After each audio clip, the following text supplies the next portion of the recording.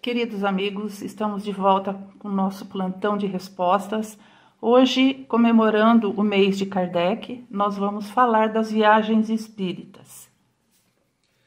Gisela, por que as viagens de Kardec, que ele fez a partir de 1860, foram importantes? A essa altura da, da primeira viagem de Kardec, em 1862, é, ele já tinha feito uma antes, mas a, a começou a contar como importante em 1862. Ele já tinha escrito, lançado o livro dos Espíritos, a revista Espírita, uh, o livro dos Espíritos em 1857, a revista Espírita 1858 e depois o livro dos Médiuns. Então, é, que foi em 1861. Ele precisava é, fazia parte da estratégia dele, da, da sua logística, é, depois de todo esse cuidado do lançamento da sua obra, verificar nas, nas comunidades onde haviam grupos já trabalhando a mediunidade e tudo, ele queria ver como é que esse pessoal estava se comportando, se estava dando tudo certo, levar instruções, receber também instruções, orientações, ele divulgou bastante. Importante é que foi uma divulgação da doutrina espírita importante naquela época, em que os transportes não são como hoje, os meios de comunicação não, são, não eram como hoje. Então, a presença dele junto a esses grupos na França, na Bélgica, é, ali ele começou na França, é, foi importante porque levou para aquelas pessoas que estavam bem isoladas, digamos, é, muito ânimo, a presença dele como um líder foi muito bom. E, enfim, foi muito produtivo para o começo da divulgação da doutrina espírita. O que identifica Kardec como discípulo de Jesus? É interessante que no livro A Caminho da, a Caminho da Luz nós temos uma descrição do Emmanuel é, que narra a vinda do, do, do Kardec para essa missão tão importante e que ele fala ali que baixa à terra um apóstolo digníssimo, nobilíssimo, que foi Kardec, em 1804, o ano de seu nascimento, no momento que a, as lideranças espirituais do planeta estavam pedindo, implorando que viessem para re, recomeçar o, o, cristianismo que já havia é, se perdido uma, uma boa parte. Bem, o que identifica então esse discípulo? O que identifica o cristão, que o primeiro item é a humildade. É, também ele tinha um conhecimento, ele era inteligentíssimo, ele conhecia muitas áreas é, da ciência, da filosofia. É, ele era um espírito preparado, nobre, corretíssimo, firme, defendia o cristianismo é, com inteligência. Ele era uma pessoa simples e, e sabia expor, foi, fora professor por 30 anos, professor de crianças, é, tinha uma cultura avançada, enfim, era preparadíssimo.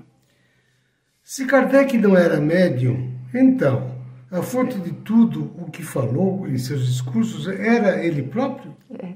Então a gente fica perguntando, né? Mas por que Kardec? Ele não, ele não veio com a tarefa mediúnica. A tarefa dele era codificar, reunir as informações, dos fenômenos espíritas, organizar tudo e lançar, uh, trazer a público tudo isso, para esclarecer e para auxiliar os trabalhos. Então não era para ele realmente receber espírito, receber entre aspas, né?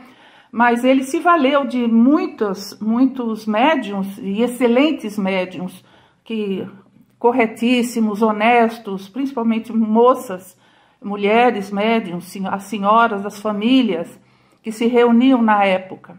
E um dado interessante é que ele não se valeu de médiums eh, de vidência, porque a vidência é um tipo de mediunidade um tanto, um tanto perigoso. É, o médium de vidente, ele não tem, às vezes, como saber se aquilo que ele está vendo é realmente real, se aquilo é verdadeiro.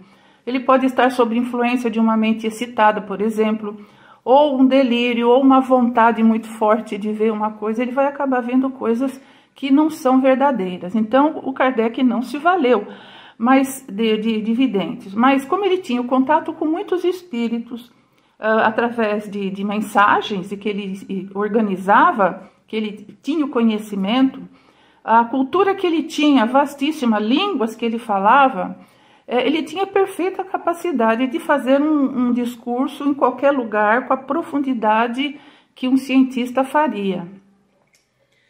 Quais os objetivos do Espiritismo e quais os meios para alcançá-los? Olha, o objetivo essencial do Espiritismo é melhorar o homem no quanto no que diz respeito à moral e também intelectual. Então, é, trazer o progresso moral e intelectual. Essa, essa parte da doutrina, ela não exige muito. Né? Qualquer pessoa poderia, não é, é seguir e, e conseguir esses objetivos. Mas o que se impõe para se alcançar é que as pessoas pratiquem o bem e evitem o mal. É só isso. A gente sabe que não é fácil, todos nós, né? Como o Espiritismo se propagou? Primeiro, ele se propagou por causa do, da, da, facilidade, da, da, didática que o Kardec tinha, que ele transferiu isso para suas obras. É fácil a gente ler e entender, é através de perguntas, a obra básica, que é o livro dos Espíritos, é, e exemplos que ele vai dando, explicando com, com, uma, uma, uma, com palavras simples, não é complicado. Então, esse é um, é um fator importante. Outras pessoas tinham muito interesse em saber de coisas é, do mundo espiritual, coisas do futuro, da reencarnação, porque isso consolava, isso trazia uma certa esperança no futuro. Agora, ele se propagou como, como uma, uma doutrina também porque a França, naquela época, era, era o centro da, da cultura na Terra. É, na, em, todas, em todas as áreas do conhecimento, a, a França era a líder. Ela disputava um pouco com a Inglaterra, mas a França era a líder em quase tudo. Na, na, na ciência, na, em várias áreas da ciência, na literatura, nas artes, na filosofia. Naquela época de Kardec, vieram com ele vieram com ele uma pleia de, de, de colaboradores que vieram ali para participar e criar na França um ambiente favorável à, à apresentação do Espiritismo para que ele tivesse aceitação. Então, ali, é, a partir daí, a França tendo esse caráter de centro da cultura na Terra, as famílias do mundo inteiro, de, de quase todos os países, enviavam seus filhos para estudar na França, fazer seus cursos e depois voltavam para os seus países.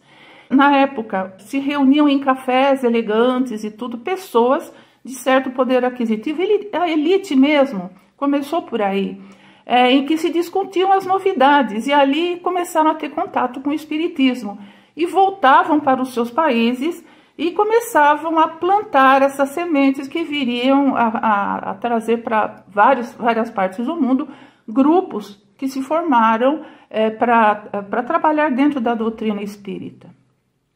O que Kardec orienta para se saber se um conceito espírita está certo ou errado? Bem, vamos falar de conceitos, mas conceitos que não dizem respeito aos princípios doutrinários, porque os conceitos às vezes podem contrariar esses princípios. É quando surge um novo conceito, é importante que se verifique se eles estão coerentes com a doutrina que o Kardec trouxe, o seu conteúdo. Então, esse, esse é um fato importante. E como? É, bem, é preciso que venha é, de espíritos que tenham credibilidade, de médiums que tenham credibilidade também. E que oh, a, essa informação provenha de vários grupos ao mesmo tempo, não só de um médium. Porque às vezes um médium recebe lá uma revelação especial, maravilhosa, que causa grande furor na Terra, que já, já tem acontecido isso, e às vezes o médium está lá fascinado, o espírito que se apresentou a ele é um, é um, um zombeteiro qualquer. Então, é importante que haja mais de uma, aliás, o Kardec fala vários médiums que trazem essa informação ao mesmo tempo e que elas sejam idênticas e que tenham o mesmo conteúdo. Quais foram as instruções de Kardec sobre os espíritos enganadores? O Kardec, nessas viagens espíritas, ele visitou vários grupos e ele percebeu que tinham grupos que já estavam trabalhando muito bem e outros que ainda, que ainda apresentavam problemas. Ele, ele, ele, verificou, ele constatou que esses grupos que estão, que fazem um trabalho correto, é, eles estudam, estudavam muito, não é? E se mantinham alerta quando percebiam ou desconfiavam que havia algum sinal de, de um espírito que viria, é, que era um espírito suspeito, então eles tinham outro tratamento com esse espírito, eles eram mais meticulosos, cuidavam do pensamento, né, vigiavam, e aquele espírito que era duvidoso acabava indo embora e procurando outro grupo onde pudesse ser acolhido. Quais os meios de controlar as comunicações mediúnicas? No livro Evangelho segundo o Espiritismo, lá no comecinho tem um, um item interessante que se chama Controle Universal do Ensino dos Espíritos.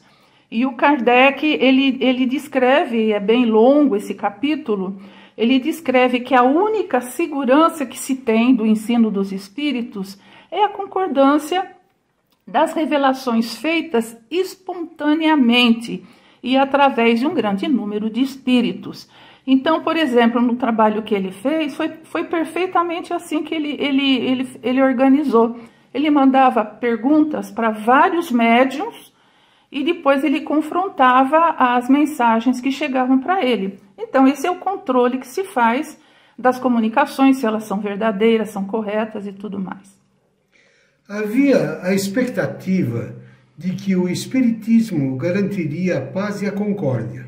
Isso se concretizou? É difícil a gente falar, é, quer dizer, a gente já até entende um, um, viés aí nos dias de hoje, que nós estamos vivendo um, um, tempos de, de, de grande insegurança, enfim.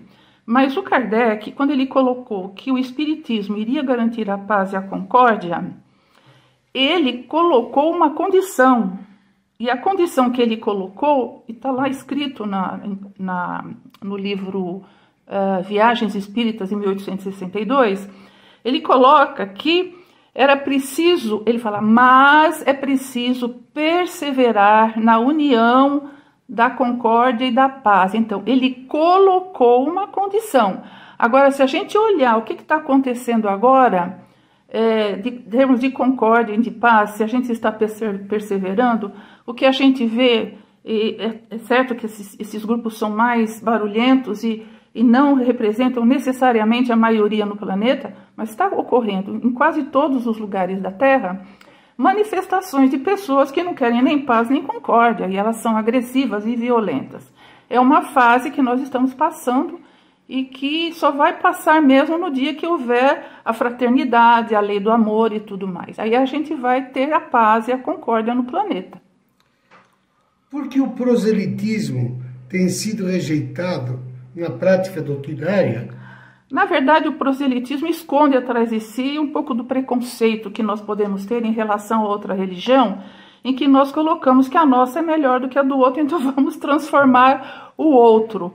Então, por que, que ele, ele jamais pregou proselitismo e ele condenava isso? Primeiro que o, o espiritismo não quer, não deseja prosélitos. Ou seja, não, não interessa encher um, um auditório de pessoas que vão lá por um momento, uh, e, sim, e se deseja que as pessoas que vão procurar o espiritismo vão por necessidade, que vão entender, que vão se esforçar para entender.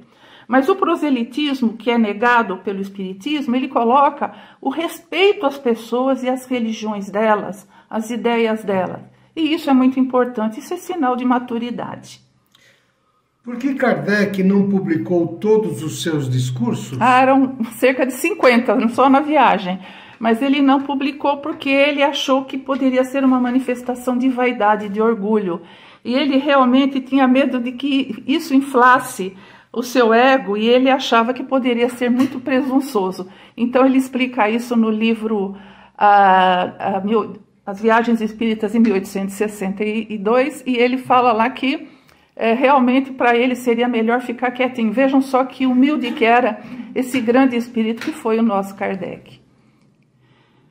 Então, chegamos ao fim deste programa, desse plantão de respostas. Esperamos vê-los no próximo e vamos orar e agradecer a Deus por nos ter enviado Kardec.